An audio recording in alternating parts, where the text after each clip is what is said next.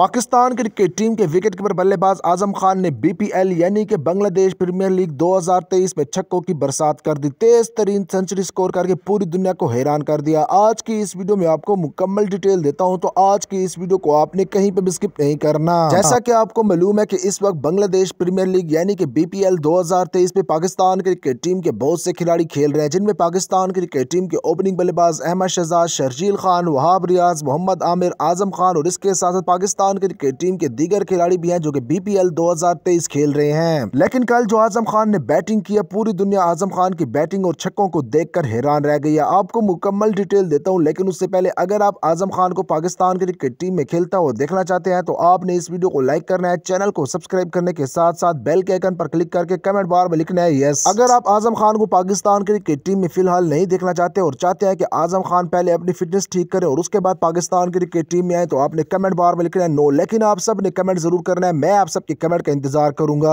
आज़म खान ने कल खूबसूरत बैटिंग की आज़म खान ने कल अपनी इनिंग में अठावन गेंदों का सामना किया, जिसमें उन्होंने आठ खूबसूरत और लंबे तरीन छक्के लगाए। इसके साथ साथ आज़म खान ने नौ चौके लगाए। आज़म खान ने 58 यानी कि अठावन गेंदों पर 109 रन बनाए। पाकिस्तान क्रिकेट टीम के विकेट कीपर बल्लेबाज आज़म खान ने पाकिस्तान क्रिकेट टीम में डेब्यू किया था, लेकिन उसके बाद अपनी फिटनेस के बाद पाकिस्तान क्रिकेट टीम में जगह बरकरार ना रख पाए। लेकिन अब आज़म खान एक मरतबा फिर से फॉर्म में आ गए और इनशाला जल्द कम करेंगे।